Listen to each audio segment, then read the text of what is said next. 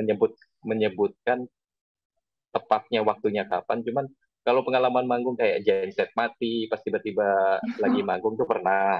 Oh Terus iya. lampu semua mati, ya. Oh. Terus ba- banyak lah. Terus pas naik di trailer juga kita pernah manggung bikin set drum di trailer, terus trailernya berhenti mendadak, jatuh semua, ambruk itu juga pernah. Eh, banyak sih. Terus ada kejadian Rizal juga habis suaranya nggak bisa nyanyi nih, terus digantiin Ivan Seventeen juga Oh, pernah. pernah ya? Iya, Pernah kejadian pernah, itu ya? pernah.